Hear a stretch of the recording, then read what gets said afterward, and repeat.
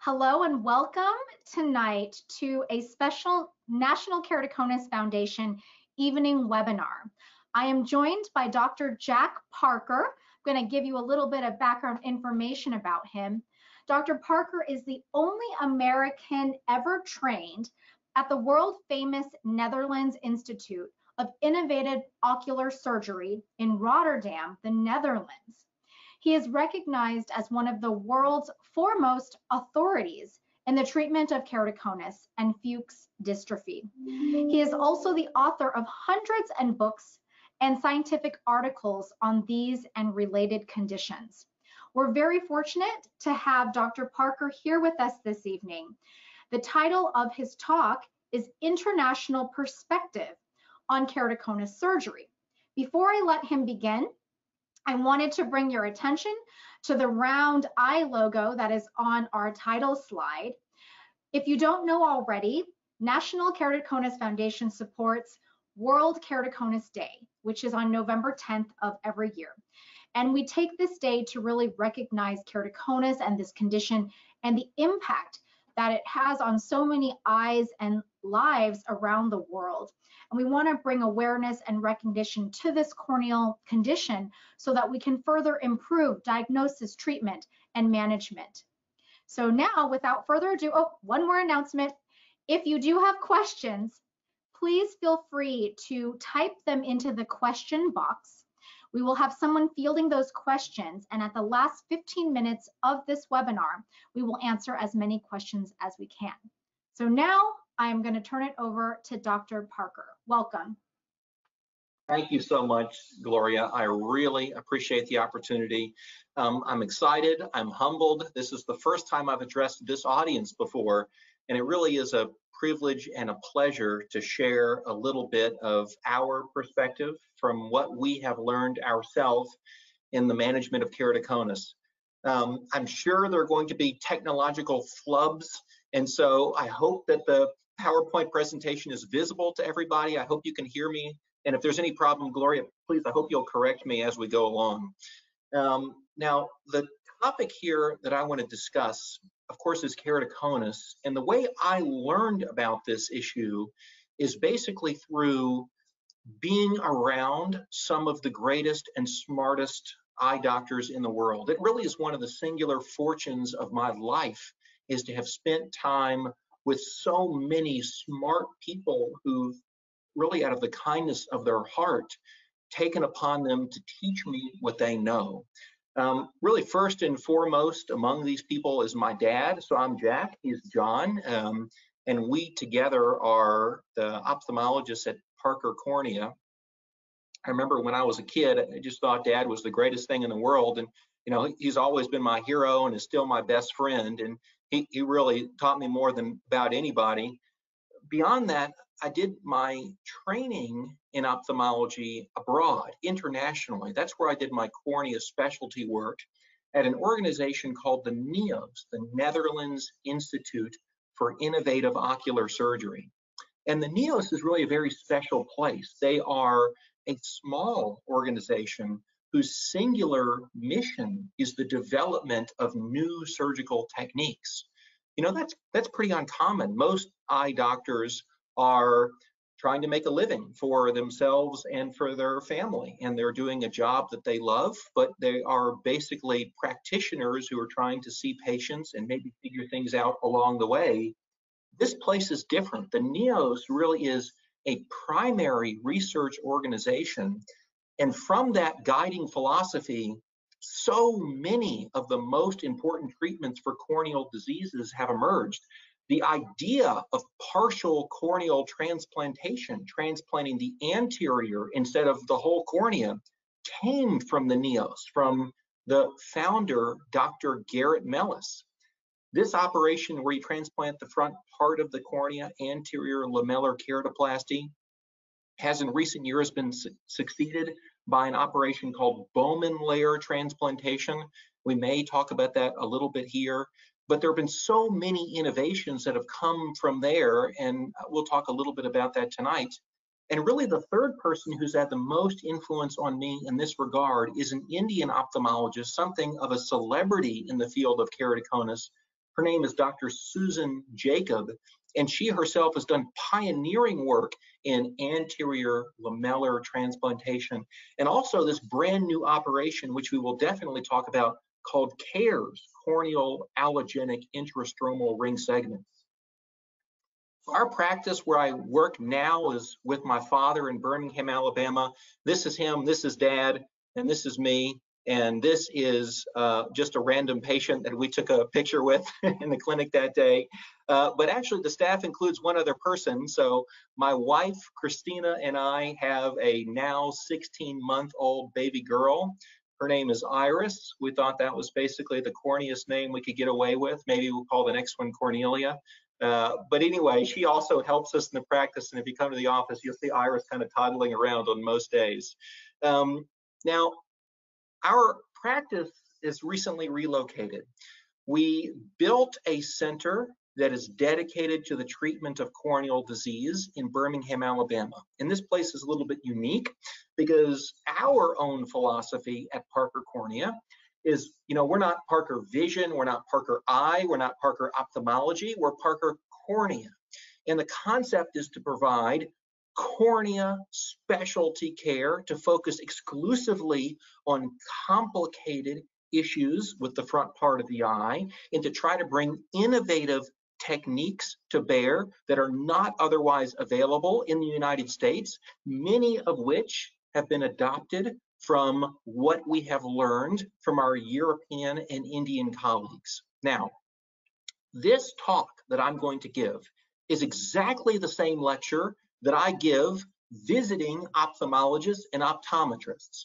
When I go render a lecture in front of 50 or 100 people on the management of keratoconus, this is the talk that I give. So this is not an essentialized or reductive version of the concepts because I figure that everybody tuned into this webcam is very well informed. Pretty much everybody logged in knows the basic stuff. So we're going to dispense entirely with the basic stuff and proceed directly to the things that I am teaching other practitioners. And the first thing that I think is important to remember is that keratoconus is defined as a bilateral progressive disease. So the dictionary definition of the entity is that it's present always in both eyes, and it's defined as a disease that gets worse over time. Now, if you wonder what is the number of people who have keratoconus, you get different answers depending on which sources you consult. There are different demographic reports, and I can never remember any of them myself. But I think one statistic that I do remember that is important is that keratoconus is common. In fact, that 10% of people who are presenting to their eye doctor seeking LASIK actually have keratoconus. Hmm. Because the reason people want LASIK is typically because they have a high prescription. Usually it's myopia, nearsightedness with some astigmatism. So really the way that people present to the eye doctor with complaints with keratoconus is they complain about not being able to see and being interested in refractive surgery, especially LASIK. Now, keratoconus is a type of disease called an ectasia. An ectasia is a thinning and steepening disorder of the cornea. Now, there are other disorders of the cornea that cause thinning and steepening. There's a disease called pellucid marginal degeneration in which you can have thinning and steepening of the cornea.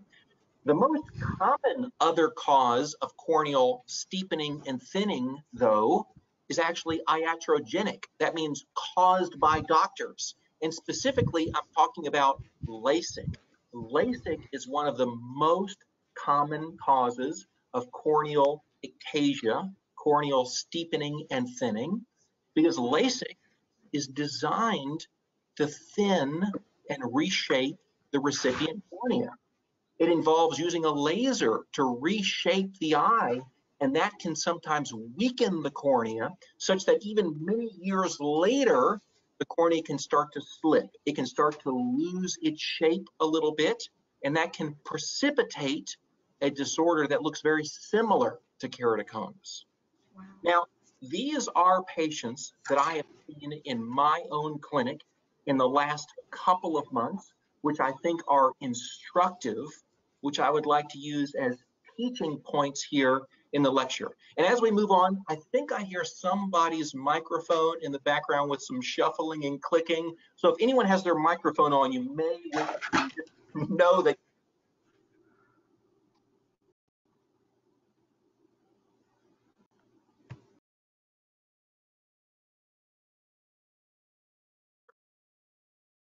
he was referred by his local eye doctor and his subjective complaint was poor quality vision. He said he had glare, he said he had halos. With his glasses, he was reading the 2020 line. But his optometrist thought that these complaints were significant enough, suspicious enough to refer him to a cornea specialist for an evaluation. And these were his corneal images that we obtained in our office. Now, for all of these educated audience members, these images are taken from a device called a pentacam. A pentacam performs what's called corneal tomography. And corneal tomography is different than corneal topography in that corneal tomography gives you more information. It tells you not only about the curvature of the front part of the cornea, but it tells you about the thickness of the cornea and the back part of the cornea. So one point of interest, you may be writing down or thinking to yourself, does my eye doctor use a corneal tomographer? Do they use a pentacam to evaluate my cornea or are they using a topographer? Topographer is good, there's nothing wrong with it, but the tomographer provides more information. And in this instance, what we're seeing is that both eyes, the right and the left eye, OD is dexter, OS is sinister, that's the left eye, the right and the left eye show inferior steepening of the cornea. That's that hot spot, that yellow bulge you see at the bottom of the cornea. This is what keratoconus looks like in a person that's imaged with corneal tomography. It looks like a mosquito bite bulge hernia of astigmatism at the bottom of the cornea. So the diagnosis here is keratoconus, and the major concern in this young person who's just been diagnosed is that this could get worse. You know, presently the vision is 20/20 with glasses without even a contact lens. But keratoconus, remember, is defined as a progressive disease, and it could most certainly progress. So what's the treatment? Well, the gold standard in this instance is corneal cross-linking. Now, corneal cross-linking has been around since 2003. It was originally dubbed the Dresden Protocol because it was described initially in Dresden, Germany, and the operation involves dripping a riboflavin solution over the surface of the cornea for 30 minutes, and then 30 more minutes while the patient looks at a UV laser. So this hour-long treatment results in stiffening the cornea. Now this process is mechanical. You can see this picture here, the yellow sliver is a cross-linked slice of pig cornea. And the white sliver is an uncross-linked slice of pig cornea. So you can see from this image that the cross-linking effect, it doesn't depend on patient healing. It doesn't depend on how the body responds. It's something that you can see in a laboratory on a piece of inert tissue. So it affects a mechanical stiffening and strengthening of the cornea that protects against worsening of shape. The reason to do cross-linking is not to improve the vision. It's not to improve the shape of the cornea. It's not to turn back the clock on what has happened. The purpose of cross-linking is to stop the progression of disease. And what I tell my patients is I say it's sort of analogous to imagine your house is on fire. When do you call the fire department? Do you call the fire department after half the house is burned down, after one, one room of the house is burned down? How much of the house do you allow to burn down? The answer is you want to call the fire department immediately to stop the progression of the fire as soon as you detect it. And keep in mind, the fire department, they put the fire out, but they don't rebuild your house. They don't buy you new furniture. Whatever is burned up is gone. So cross-linking is the fire department. They will put the fire out, but this does not repair the damage that has occurred. Now, remember I told you in a previous slide that keratoconus is defined as a disease that gets worse. This is a fascinating study that I want to tell you about that took place in Italy. Turns out a few years ago in Italy, this study was accidentally performed. There were patients who were scheduled in Italy for cross-linking because they had been diagnosed by their eye doctor with progressive keratoconus. But then something happened. Before they could get cross-linked, COVID hit. And as you know, Italy was extremely badly afflicted and everything shut down for three months. After three months, the hospitals started to open up again for non-pneumonia related medical problems. And these keratoconic patients who would have been cross-linked but weren't came back in for another evaluation. And after a three month delay in their treatment, what these eye doctors figured out is that 70% of the patients had gotten worse, had developed a permanent worsening of the shape of their cornea. And the consequence of that worsening was one line of vision on the eye chart. So people ask me all the time, have patients who come to me, you know, the average keratoconic patient is young, they're in college maybe, or just in grad school, just out, you know, in their 30s. And what they want to know is, okay, well, it's February and I've been diagnosed. Can I wait till the summer to get cross-linked? And the answer is unequivocally no. There's really good evidence that a delay in treatment, even just by a couple of months, risks permanent degradation in the optical quality of the cornea. So progressive keratoconus is not an emergency, but it is an urgency. It's something that deserves to be addressed as soon as practically possible. Now, there are a lot of keratoconic patients that, you know, will talk to me and they'll say, well, I was diagnosed when I was 18 and I'm 57 now, and I don't think I'm getting any worse. So you keep saying, Jack, that keratoconus gets worse and worse and worse, but I don't think I'm getting worse. How do I know for sure? How can I tell for sure if I'm getting worse? Well, let me ask you a question. Before I before I answer that, let me pose a different question. These are four different eyes from four different patients. And these are their corneal tomographies. These are the best, most sensitive images that we have on these patients. So for these four eyes, I want to ask, what is the vision of these four patients? So the first image, the patient all the way on the left, what's the vision of that eye? It's obviously got a corneal hernia. Clearly the cornea is steeper and thinner than it should be. What's the vision? And the answer is this person is 20/20, uncorrected with no glasses. And how about the second eye? Well, it's also 20/20. And how about the third eye? It's 20/20. And how about the fourth eye? This eye is 20/20. And you know, these images, these curvatures are drastically altered. You know, you don't have to be an eye doctor to look at this and say, well, these are these are unusually shaped. You know, this should be a singular green color. These should be four green circles that you're seeing, not corneas with these red bulges at the bottom. So the point is, is that you can have corneal warpage. You can be losing shape to your cornea. You can have drastic change before you observe a change in your vision. You can be getting worse and worse and worse and not know about it if you're not getting imaged. And what I tell my patients in this regard is that when you're going down, it's kind of like if you've jumped off a building, okay? So you jump off a building, you're fine all the way down. It's only at the last second that you have a problem. And here with these eyes, you can see that you're going down in these images and you don't want to. You want the shape of the cornea stabilized before you hit bottom and now you've lost vision. So the best way to know for a fact if you're getting worse is to have your cornea imaged by corneal topography or tomography. Now, it's also important to pay attention to your changing refraction. I've got a really good friend who's a brilliant cornea specialist, and what he tells his patients is if you are seeing a change in your astigmatism, particularly a big change. That's not normal. Your prescription shouldn't be changing big time as an adult. Kind of like your shoe prescription. Your shoe size doesn't change big time when you're an adult. Your glove size doesn't change when you're an adult. You know, I mean, the thing that changes is your waistline. You know, your pant size change because the shape of your body is changing.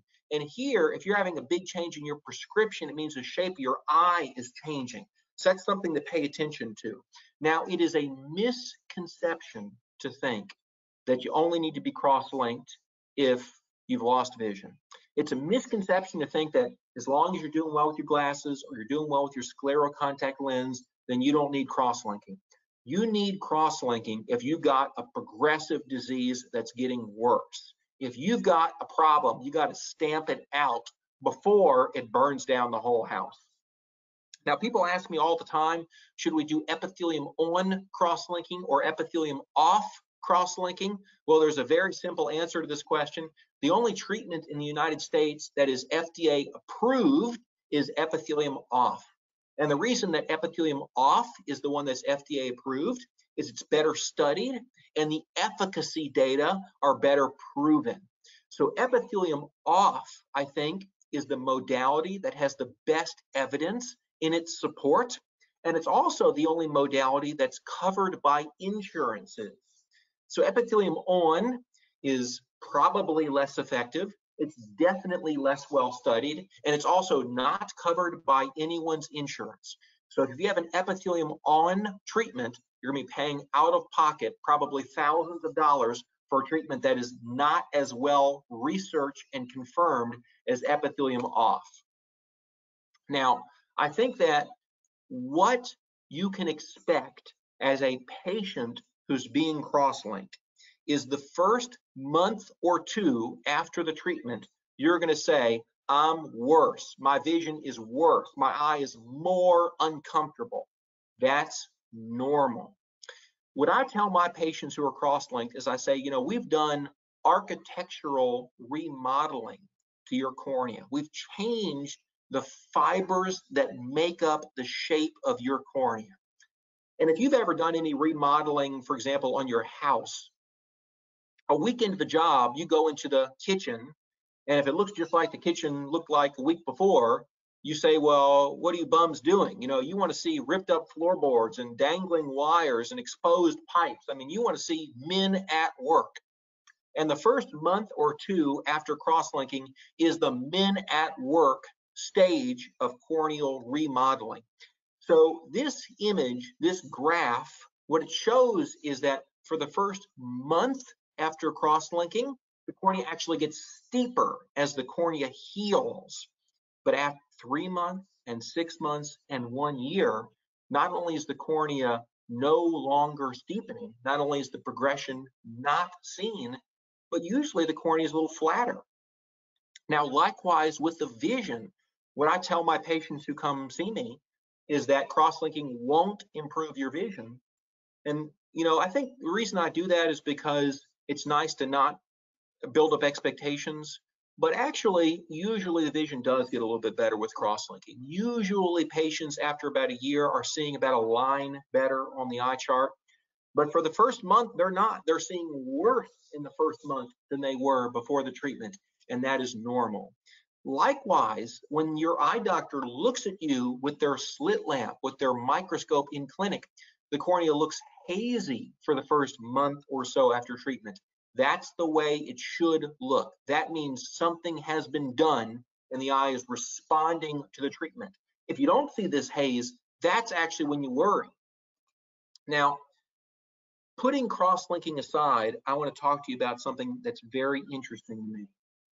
This is another patient that we saw who was presenting to us with progressive keratoconus he had already lost vision. He was 20, 30 with his glasses, and he was worried about getting worse. So obviously, we're going to cross-link this person. But you know, what he's also worried about is that he doesn't see as well as he'd like to. He's only 20, 30 with his glasses, and you can see from this image, he's got a big bulge down at the bottom of the cornea. That orange, yellow, red hot spot, that's where the cornea is misshapen.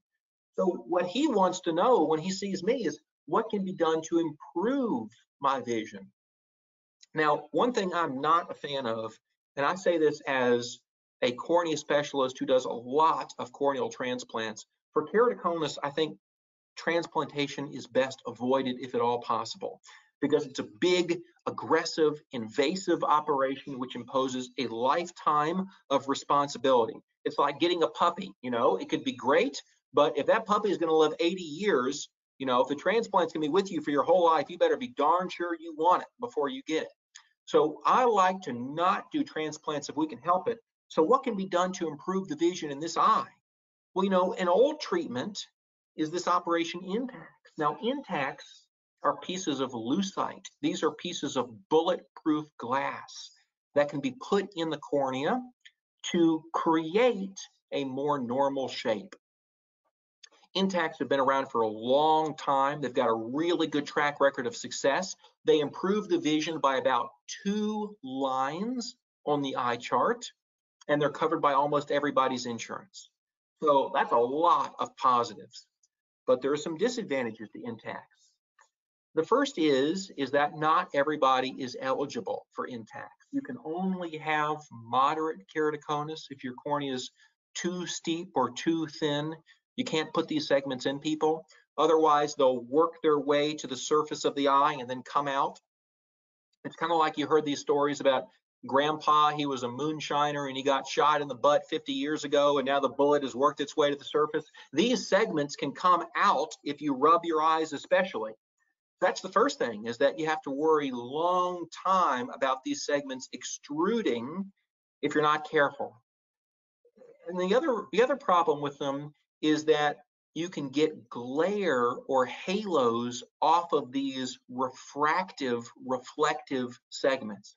Now, it's not all the time, but if you have light shown in the eye obliquely, it glistens off these segments. So when people are, for instance, driving at night, they get their dashboard glare come up. When they're watching a movie in a dark room and their pupil is dilated, they can see the edge of these segments.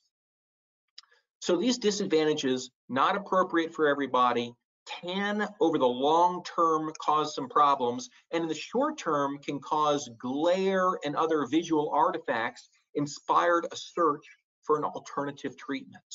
And this alternative treatment developed by Dr. Soosan Jacobs in India is what I call Intacs version 2.0. It's the upgraded model. It's CAIRS, which stands for corneal allogenic intrastromal ring segments. CAIRS are exactly the same as Intacs, exactly the same, exactly, except one thing. The segments are not made out of bulletproof glass. They're not made out of plastic. They're made out of collagen. More specifically, they're made out of donor human cornea. And you might say, well, why would you want to use human cornea instead of plastic? Well, there are a few reasons. The first thing is that human collagen is as biocompatible as it gets. So when you put these segments in an eye, there is no tendency for them to extrude. There's no tendency for the body to want to spit them out or reject them, like with a plastic segment. As a result, over the long term, you're much more confident about the safety of these segments. In addition, because the body doesn't want to spit them out, you can place them up higher in the recipient cornea, in the patient's eye. And when you put them closer to the surface of the cornea, you can get much more flattening of the cornea. So the effect that you get when you put CAIRS segments in the eye is much more dramatic than the effect you get with Intacs segments. You get much more reshaping of the cornea and much better visual improvement. And the other thing is because this material is made out of the same thing as your cornea, there's no glistening, there's no glare from the segments. So those immediate dysphotopsias, those problems with subjective quality of vision are addressed. This is a video that shows uh, CAIRS implantation in an eye with keratoconus. And um, the operation involves first marking the surface of the eye. That's what I'm doing here. And I'm using a little centering crosshair and then an ink tipped instrument just to place a dot right on the center of the cornea. This is another guide that tells me where I will put these CAIRS segments in the eye. Now this patient is being operated on in our office, by the way. This is a minor procedure which takes about five minutes. You don't have to go to sleep. You don't have to um, be fasting. You can have breakfast and have the procedure. It takes five minutes and you go home that day. A little incision is placed at the edge of the cornea and a space is dissected on either part of the incision using this blunt little rod.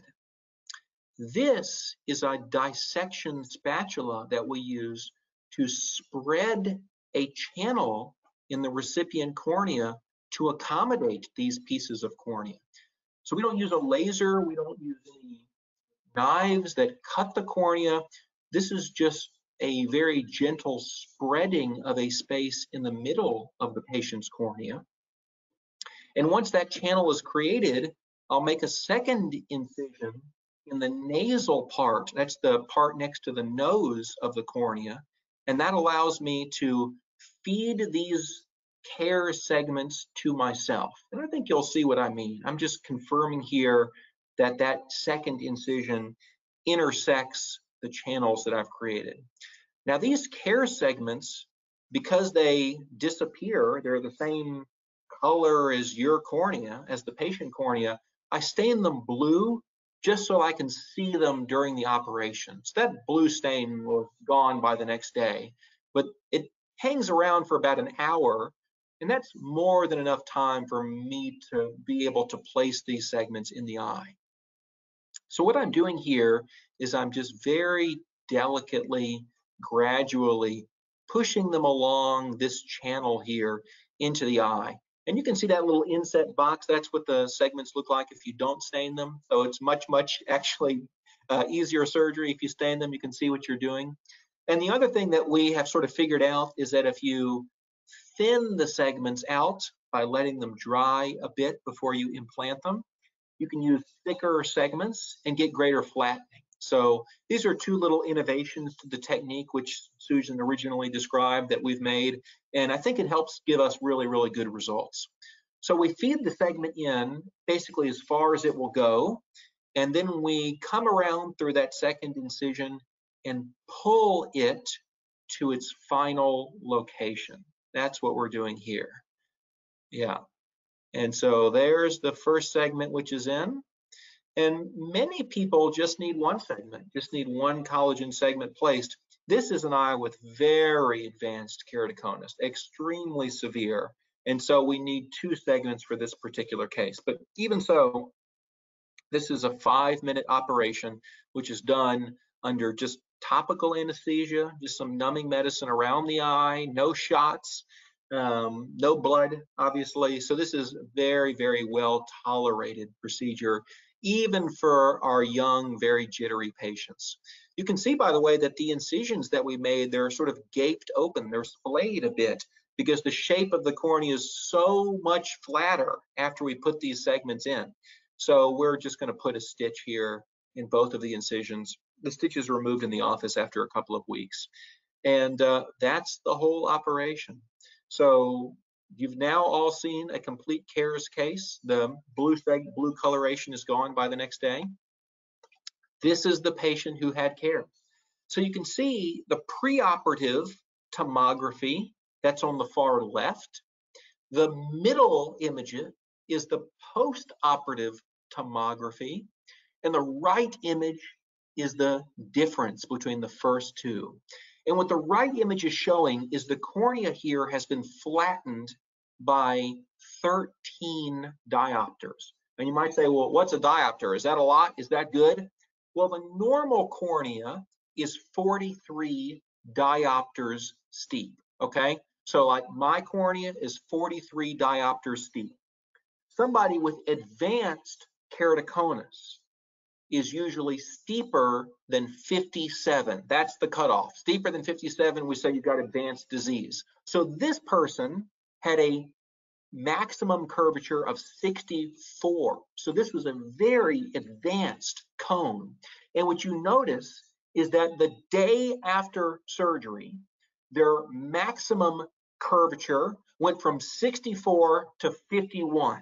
So a drastic difference in the shape of the cornea. And we have many such examples. So here's another eye. The middle image this time is our pre-operative image. The leftmost image is our post-operative image, and the rightmost image is the difference. And if you can imagine that orange red as a glowing fire, you can see the far right image, that blue, that's the amount of water that was thrown on the fire. So quite a lot. There's quite a lot of dousing of this problem. Here's another case. This was an eye with extremely advanced keratoconus. The maximum curvature was in the 90s, and one day post-operatively, they had more than 20 diopters of flattening. And practically speaking, what that means is this is a person that would have had a full thickness corneal transplant who now doesn't have to have one. Now they can wear a scleral lens or a regular contact lens, a hard lens. This is somebody who's able to avoid a transplant because they had a reshaping of their cornea from these collagen inserts. So I think that what's important to relay here is that CAIRS is the very best technology we have available to us now for improving the shape of the cornea in somebody who's already lost shape from keratoconus. Now, this is another case that I want to share, and it's the last case and the last teaching point. This is somebody with early keratoconus. They're extremely nearsighted, very myopic. Their prescription is a minus nine in both eyes with astigmatism. And they're coming to me because they want LASIK. Now, obviously, everybody listening knows that if you have keratoconus, you can't have LASIK. But is there anything that can be done for these people who have very strong prescriptions with a lot of astigmatism, who want LASIK, who want to be able to see better, who want to be less dependent on their Coke bottle glasses or their contact lens? Can anything be done? Well, actually, there is. There is a technology that has been around for a long time that has recently undergone drastic improvements. And this technology is what's called an implantable contact lens or an implantable Collamer lens. And this is a lens that's meant to be put inside the eye in a minor procedure in the office then it can treat even very severe amounts of nearsightedness and nearsighted astigmatism, including in people whose nearsighted astigmatism comes from keratoconus.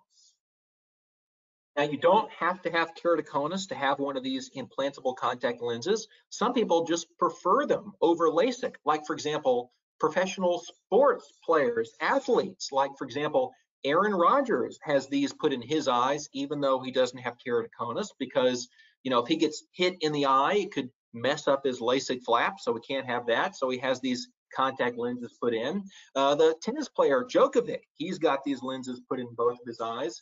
Uh, one of the Jonas brothers actually just had these lenses put in both of his eyes. But really, where these lenses shine is for people with severe astigmatism and severe myopia who can't have LASIK. Now these lenses fit behind the iris, the colored part of the eye, and they never have to be exchanged. They never have to be polished. They never have to change the prescription. What's really important about these lenses is that we use the right size lens. That's the risk. If you put a lens in the eye that's the wrong size, then sometimes the lens does have to be swapped out. We don't want that. So the way that we size the lens is we use this special instrument here on the right of the screen. It's called an ArcScan. There are 22 of these in the country, 17 of which are on military bases because the military actually implants a lot of implantable contact lenses because their cadets can't have LASIK. If they get hit in the eye, something happens to the LASIK flap. So they do a lot of ICLs we're one of the very few places in the world that have access to this technology. It's a major blessing to us because it lets us size the lens with an accuracy and a precision that's available almost nowhere else on the planet. This technology was invented in London at the London Vision Clinic by Dr. Dan Reinstein, who is an absolute pioneer in this area in treating myopic astigmatism with refractive surgery. And this has, allowed us to treat our keratoconic patients with something that can drastically improve their vision without consigning them to a lifetime of glasses and contact lenses. The lens, as you can tell, is basically invisible, even with a high-powered microscope. So it's not something that anybody else can, can tell that you've had. Compared to LASIK, by the way, it tends to give you better results, even if you can have LASIK. And the reason is, is that, you know, when you have any kind of laser procedure to the eye, the eye tries to undo the damage that was done. You know, there's a healing response. Naturally, the eye tries to restore the balance that you're in before. Whereas with a contact lens, you know, you wear your contact or your glasses, the body doesn't try to undo the contact or glasses. It more or less accepts that. So with the implantable contact lens, you tend to get much better quality vision. And that quality vision is maintained over a long period of time, unlike, for example, LASIK, which can wear off over time. So I think that one thing that we're really excited about with these new implantable Collamer implantable contact lenses is the ability to make drastic improvements in the vision of people that otherwise have been told, I'm sorry, just wear your thick glasses, you're not a LASIK candidate. It's the very best refractive and the safest refractive surgery we have.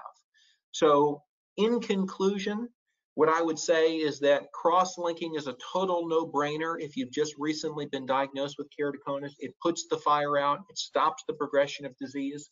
If you want to treat the abnormal shape of the cornea, CAIRS is the best we've got. And if you've got a good quality vision, but a very high prescription, you may be a candidate for what's called an implantable Collamer or contact lens. Try to liberate you a bit from these strong prescriptions. So these are all my prepared remarks. And of course, now I'd like to thank you all for your attention and open up the floor, of course, also to Gloria for any questions. Thank you so much for that very comprehensive and detailed and really enlightening lecture, Dr. Parker. Um, we have several questions, but before we get to them, I have a question myself in regards to the um, implant implantable Collamer lens. How, let me rephrase this. In regards to keratoconus patients who have some degree of irregular astigmatism. If they don't see mm. well with glasses or soft contact, are they candidates for the ICL? They are certainly less good candidates. The implantable Collamer lens provides you the same or slightly better quality vision that you'd get with a soft toric contact lens. Got it. But nothing provides you as good a vision as a scleral lens. A scleral lens is as good as it gets. So the best candidates for an ICL are people who've got good vision in their glasses or good vision in a soft contact lens with some astigmatism correction, but they just hate being dependent on those things. Now, there are many people who have a measure of irregular astigmatism. For example, they see 2400 with nothing, with no prescription. And with a soft toric, the best you can get them is 2050, 2040. And you think, well, gosh, that's not 2020. Well, in these people, it's controversial. I think in these people, you have a discussion and you say, well, with your scleral lens, you can be 2020. With the implantable contact lens, you're 2040.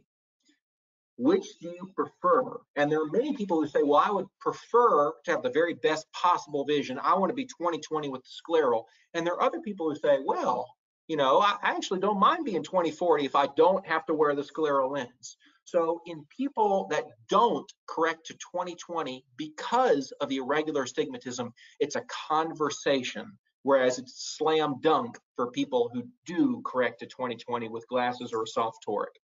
That's great. Awesome. Okay, so a couple more questions from our audience now. Do you have any statistics on success of corneal transplants on Down syndrome patients? And any tips about the recovery that patients should be aware of? So what's your experience in surgery for our Down syndrome patients? Um, my personal bias is that if you are a PhD rocket scientist working on the Manhattan Project, you should not have a full thickness corneal transplant for keratoconus, probably. And the reason is, is that even if you are as scrupulous and diligent as you can possibly be and fastidious about taking care of your eyes and going to the doctor and using your drops, there are just so many problems that can occur. You know, it's a surgery that has, unfortunately, a high risk of problems, not just in the short term, but over the very long term. And really what I try to do is discourage almost all of my patients from having a corneal transplant. And that would apply to me you know, I, I would not want a full thickness corneal transplant in either of my eyes if I could help it. People who have Down syndrome, I think, are even less able typically to participate in their own care. It's more difficult to take care of them. The data are certainly less good. So I would think that it really probably is a best avoided operation for somebody with Down syndrome, if if at all possible. Um, what is typically a better option for somebody with Down syndrome rather than replacing the cornea is to reshape the cornea to make it more optically functional with something like a CAIRS transplant, a CAIRS procedure. Got it. Thank you. So this is an interesting question. Can you still have cataract surgery if you have keratoconus? And on top of that, are there any special precautions uh, that the patient or the surgeon needs to take for keratoconus patients who need cataract surgery? Absolutely. So you most certainly can have cataract surgery. Everybody eventually grows up and needs cataract surgery. So all keratoconics, eventually, if they live long enough, will live to the point where their lens wears out and needs to be replaced. When we do cataract surgery, we have lenses that we put inside the eye always. Whenever you have cataracts, we take your lens out and we always put a new lens inside the eye. That new lens has a prescription. The new lens can correct a measure of astigmatism. It may be worthwhile to have a lens put inside your eye that corrects some of your astigmatism. The key concern, though, is if you have an astigmatism correcting lens put inside your eye with cataract surgery, you will no longer be able to wear a hard or a scleral lens after the surgery. You won't. The lens does not play well with an astigmatism correcting lens inside the eye. So if you are dependent on your hard or scleral lens and you're considering having cataract surgery, that's fine. I'm not telling you not to have surgery, but you should know that it may be in your best interest to not have an astigmatism correcting lens put in your eye, to have a regular lens put in your eye, and then to continue to wear your hard or scleral contact lens. That may give you the very best vision. And I have to say, as a scleral lens provider, an optometrist, I do agree with you that for patients who are dependent and enjoy wearing their either RGP or scleral contact lens and are okay wearing it after cataract surgery, they should avoid the whole toric, you know, implant or the one that corrects for astigmatism because what happens is maybe they see better uncorrected now, which is great. It's closer and gets them able to see like who's across from them, the room. But there's this degree of residual shadows and glare that if you send them back to your optometrist for the scleral lens fitting, it's very difficult to fine tune because now you're having to correct the irregular keratoconus cornea as well as potentially some induced astigmatism from the implant. So I agree with you that for patients with really high levels of, you know, moderate to advanced keratoconus and astigmatism, you know, correct as much of the power as possible in a um, a monofocal, well, maybe the terminology is too much here, but just without the astigmatism and yeah. correct the residual with the contact. So I think that's something very important to, to know. I think that's very well said. And you know, since you mentioned the topic of monofocal, if people are really considering cataract surgery now, I would, you know, just write this down. You can do your research on it later. There are basically three types of lenses. There's what's called a monofocal lens, which I think both Gloria and I agree with. That's what we'd recommend for a keratoconic. A toric lens, which corrects some degree of astigmatism, and that's kind of iffy, maybe, yeah, sometimes in the right patient. And there's what's called a multifocal lens, which is a, in my opinion, total no-go. That's something you should not have. A multifocal lens splits light to try to give you some independence from reading glasses after your cataract surgery. You know, most people have cataract surgery, now they're wearing reading glasses. If you've got keratoconus, you're not a candidate for that lens. Stay away from it.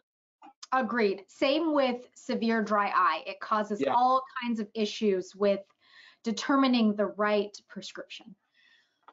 All right, so another question. Can you have Intacs implanted instead of cross-linking to stop keratoconus progression? Maybe. It's debatable. There are some good data that say yes. There are some good data that say no. Um, Intacs may stiffen the cornea. They probably do stiffen the cornea. I don't know if they stiffen the whole cornea or just where they lie. One benefit of Intacs, you know, keratoconus is very much um, uh, encouraged to progress by eye rubbing. And that's something I wish I talked about a little bit more. I'm sorry that I omitted it, but eye rubbing is a big contributor to progression of keratoconus. And Intacs, when you have them put in your eye, if you rub your eye, it hurts. So that's great. That's a good thing. That's a benefit that people are reminded not to rub their eyes because the Intacs hurt. Uh, in my patients who are progressing, what I tell them is you need to be cross-linked. And if you want to have Intacs or CAIRS to improve your vision, we can do that. Now you might say, well, couldn't you just do Intacs or CAIRS and see if that fixes the problem? You could, you could. But going back to our analogy, if the house is on fire and I say, well, we need to call the fire department, you say, well, couldn't we see if you and I could put it out with a garden hose yes, we could, and maybe that will work. But you know, what we're talking about here is taking a risk with your vision, with the quality of your vision for the rest of your life. Cross-linking takes an hour. It's not any big deal. It's not a surgery. We do it in our office. It's an eye drop while you look at a light. It's not exciting. It's boring. I think the idea of you want to try to see what you can get away with and maybe not have that done. If it were my eye, I wouldn't be rolling those dice. Thanks for that input. And do you typically recommend Intacs first or cross-linking first? We've done it both ways.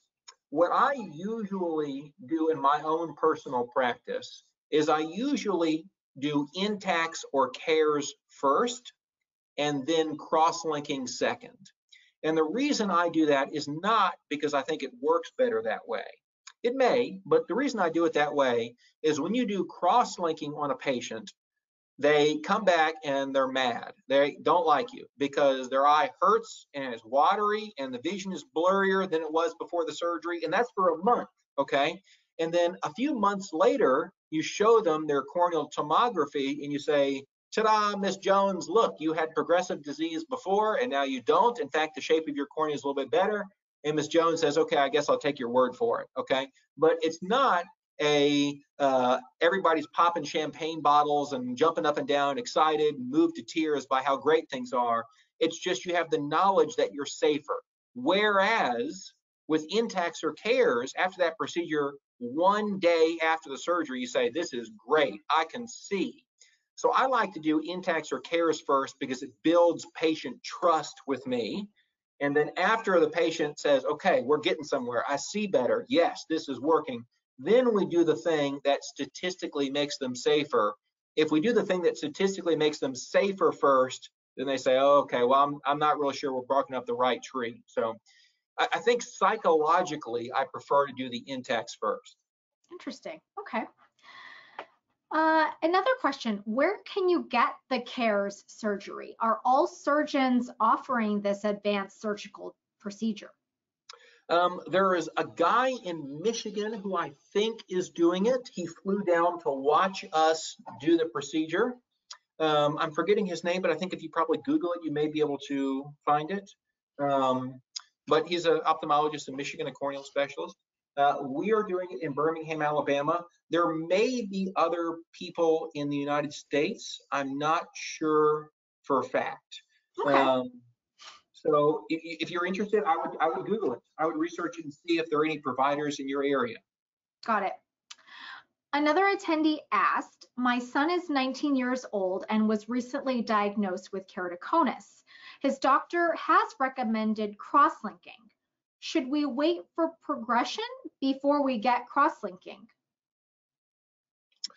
Well, I think that um, you know what what is progression? So progression is kind of a medically word, okay? So what is progression? Well, what progression is is we have objective evidence of permanent deterioration of the shape of the cornea, okay? Um, and if it were me or if it were my son and I was told, well, look, you've been diagnosed with a disease which is defined as a disease that gets worse over time, and he didn't used to have it, and now he does, what do you want to do? Do you want to wait for him to get a little bit worse and then treat him, or would you like to treat him now? For me, I would want to be treated basically as soon as possible. Now, cross-linking is not uh, you know, there's there's nothing in life that doesn't have risk. Everything has got risk. You know, I mean, when you when you um, you know get in your car to go to work in the morning, you could be killed. You know, I mean, bad things can and do happen to good people all the time. So this is a real medical treatment. It's a real medical procedure. It does something. It changes the eye. But if it were me, what I would not want is I would not want for the doctor to observe that I had permanently gotten worse before treating me for with the diagnosis that we all knew that I had? Good answer.